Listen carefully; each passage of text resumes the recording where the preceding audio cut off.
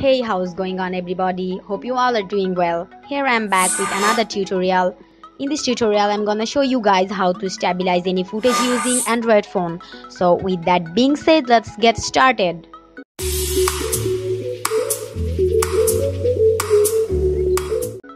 To stabilize footage, I will be using Google's own Photos app. In most devices, this app is pre-installed.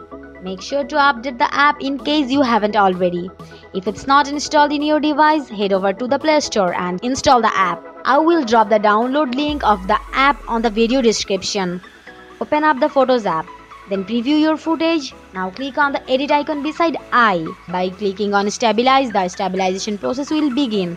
It will take time depending on your footage size and GPU performance.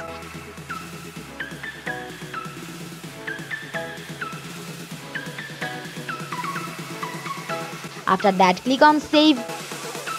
You have successfully stabilized the footage. Here is the video before and after stabilizing using this method.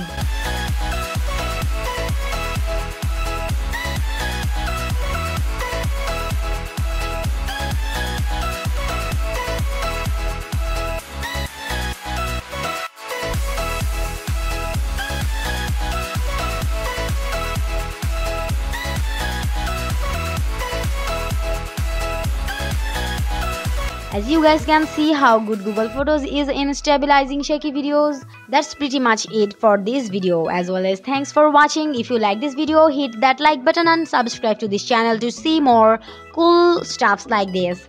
Share this video to those people who might need. It. If you have no, any query or you want to request any tutorial feel free to comment below. I am James from Windroid Booster signing off. You guys have a great day.